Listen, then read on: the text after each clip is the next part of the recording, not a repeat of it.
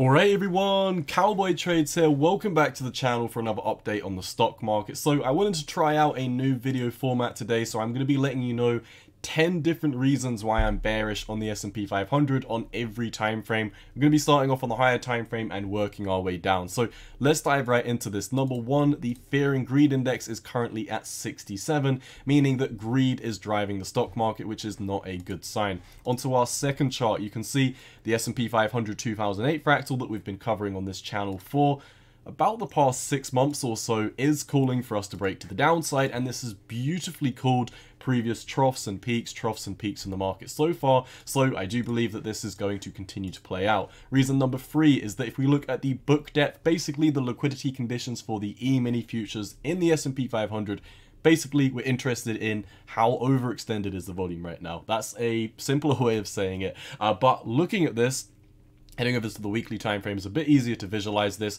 You can see the mid price is reverting back to a mean trend line, and you can also see the, that we're basically the most overextended that we've been in volume since we were round about August 2018, which if we do look at this chart, you can see that is where we topped out previously. So onto our fourth chart, we have also reverted back to a mean trend line. You can see the top was over here, 4,800 on the 3rd of January. Ever since then, boom, revert back to the mean, boom, revert back to the mean, boom, revert back to the mean. We should be heading down very, very soon. Onto our fifth chart. If we clear this up, you can see in a similar fashion, we've reverted back to the mean. Over here, we topped out above the EMA ribbons. Over here, we topped out above the EMA ribbons. We broke down, reverted back into them. We we topped out just above the EMA ribbons, broke back down, and quite recently, we've reverted once again back into the EMA ribbons. So this is another chart, meaning we should be heading down.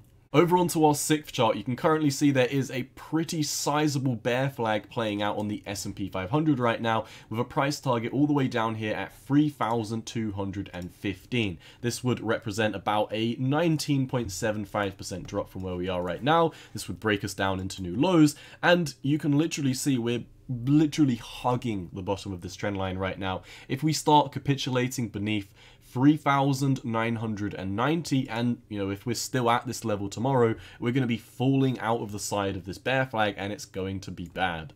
Onto our seventh chart and our final higher time frame chart, you can see stochastic RSI is currently approaching 96. When was the last time it was this overextended? In August, where we found our top over here, 4,300, before rolling down into new lows. You can also see looking at the money flow index, basically looking at uh, the relative strength in the market, considering the volume as well. So we're looking at volume overextensions when we're looking at this as well. We've reverted back to this mean trend line. So once again, another reason why oscillators are telling us that we should be breaking down soon. Now for our eighth chart, this is really in the mid time frame because we're looking at an Elliott wave pattern that's, which has actually been playing out since the 16th of August, but it is on the four hourly time frame nonetheless. You can see we've had a bearish one, two, three, four, five Elliott wave to the downside. What happens after a five wave down? You have a correctory A, B, C back up.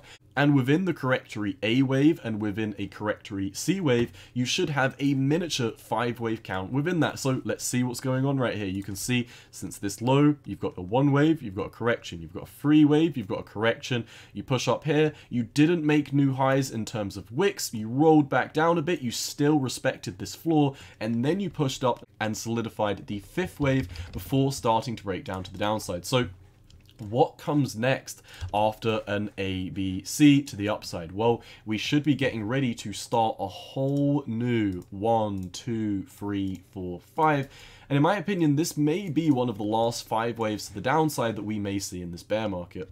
Heading over to our ninth chart. Now, this is kind of like a two-in-one. On one hand, you can see a huge run to the upside, a spiky head, and a run back to the downside. This is, of course, known as a Bart pattern. And on the flip side of that, on the same chart, you can also see this is a diamond top formation that is playing out. We kind of rolled over to the upside of it. We retested this trend line, and ever since then, we've been nuking. And you can also see, you could also argue this could just be another mini Bart pattern, which could help us push to the downside and come down to our price target of this pattern, which is all the way down here where the massive uptrend started at 3,942 for the S&P 500, meaning from where we're at right now. In the lower time frames, we could definitely expect about another 1.67% drop.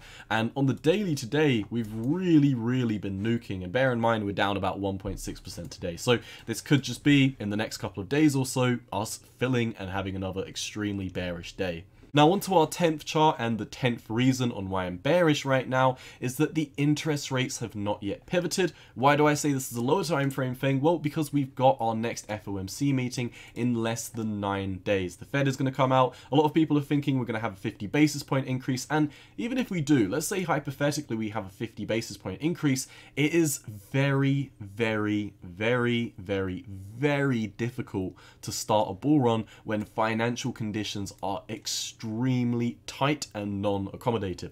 Bull runs typically start when you come down to really, really cheap interest rates because that is when people are interested in borrowing money. You know, companies look to float new equity. There's more investors in the markets. You know, it's just, it's so much easier to have a bull run when you're in accommodative financial conditions. And if I do overlay the S&P 500, like I said, it's not impossible, but when you do come down to these cheap financial conditions, cheap financial conditions down here is literally what started the bull run from 2009 and you can see we had a tiny tiny run up in terms of financial conditions over here. And you know the growth did still go up but it had a few drawdowns. Uh, and it wasn't until you came back down to this extremely cheap accommodative monetary policy uh, when we just had this absolutely explosive bull run to the upside. So once again, it's not impossible, but bull runs typically start when you're in cheap financial conditions. It is very hard, uh, like for example, as you can see, there's a pivot over here and there's a pivot over here. People seem to have this notion that as soon as the Fed pivots, the bull run starts. Uh, but over here in, two, in the year 2000, that was not the case. We, can we continue to have a bear market, a very prolonged and bloody bear market. And you can see over here in 2007, Fed started to pivot and we were literally, you know, only at the start of the meltdown. So you do have to bear in mind as well with the interest rates, it is a little bit tricky looking at these because financial conditions are always different cycle over cycle. So you can't say we're exactly in 2008, you can't say we're exactly in 2000, but it is something to keep your eyes on. And once again, the main takeaway from this is it is extremely hard to start a bull run when you're in elevated financial conditions. It will take a while, and even if we do have a 50 basis point increase, that is only going to tighten monetary policies even further. So that is really all I've got for you for this video, my friends. Like I said, just wanted to provide a quick update. If you do like this quick format where I talk about a few different charts and blast through them, let me know in the comments down below. If you do, make sure to smash that like button, hit the notification bell, share the channel with your friends. Uh, also, head over to my Twitter at 618 underscore cowboy. Uh, I did share a slight mini thread version of this about three days or so ago on why I was bearish when the price was at higher levels. If you didn't know, I was away for the weekend. So that's all I've got for you for this episode, my friends. As always, cowboy out. Peace.